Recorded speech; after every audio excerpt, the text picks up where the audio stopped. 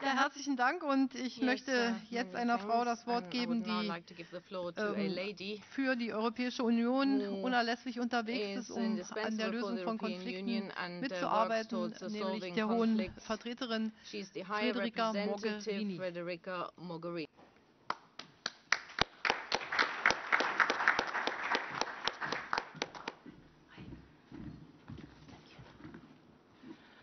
Thank you, and uh, I would like to thank all those humanitarian workers that are doing the difference, making the difference, trying to make the difference every single day.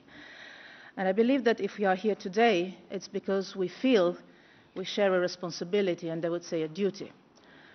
The duty and the responsibility to focus today and tomorrow, when the conference will be over, on the people of Syria. We see the numbers, we talk of geopolitics, but we often forget the names, the faces of the persons whose lives are at stake. And let me say that sometimes we Europeans do that. If we focus on them, each and every one of them, then maybe it will be a little bit easier, it will help us a little bit to make the right things, to take the right decisions. And we all have difficult decisions to take in order to be consistent and honor our responsibilities on both tracks we have in front of us the humanitarian one, and I'll come to that, and the fragile, difficult, very difficult, but still finally existent political process, built with patience and courage in Vienna, in New York, in Geneva, next week in Munich.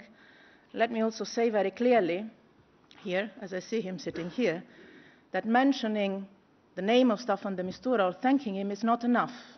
We need to empower him and create the conditions for his work to succeed. This is our responsibility. And let me also say very clearly that those who still believe that there can be a military solution to this war should wake up, should simply wake up. The only way to save Syria and to save Syrians is to implement the roadmap set by all of us in the international support group and endorsed for the first time ever after five years of war by a Security Council resolution unanimously adopted in December, implemented in all its parts. A ceasefire in place as talks will restart, immediate implementation of confidence building measures, starting with full access for humanitarian aid to all areas in need. The ones we see, like Madaya, and all the others, the names of which our public opinion ignore. We need to protect the political process, make it inclusive, make it deliver, and make sure it is accompanied by substantial steps on the ground to rebuild trust not only among the parties, but first and foremost among the Syrians. The EU, as the major donor for Syria, the major donor for Syria, and as a major political and diplomatic player in the region, feels this sense of urgency.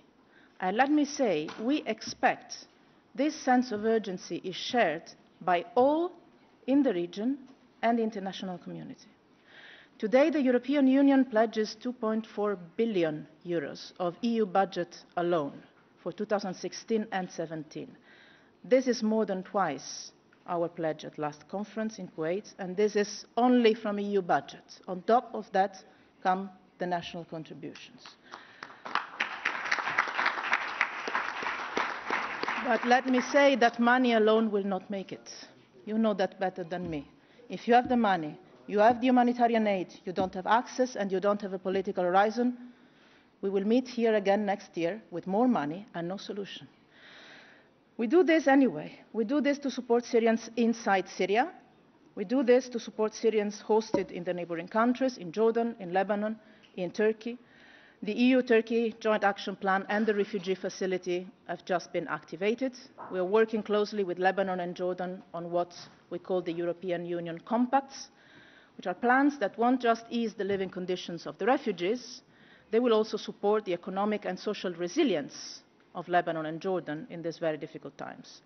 Let me mention in particular the fact that we're working with Jordan on an initiative on rules of origin to promote new employment and economic opportunities and encourage additional investment to the benefit of both Jordanians and the refugees. And let me also announce here that this initiative could be implemented if the Council agrees over a 10-year period with a mid-term revision. And let me also stress here, especially here in London, that this is exactly a specific added value of the European Union compared to single measures that member states can take. Jordan, Jordan and Lebanon are still rocks in the Middle Eastern storm, and investing in their resilience and in their sustainability, in the sustainability of their policies, uh, is also an investment in our own security, in our own future. The future of Syria, the future of those children, women and men we have seen in the video, will not be written somewhere else. And it is our responsibility to allow them to live it. It is our collective responsibility to make today a day of hope, as the Chancellor mentioned this morning, and to turn hope into reality, to bring peace in Syria and rebuild the country. The European Union is ready. Thank you.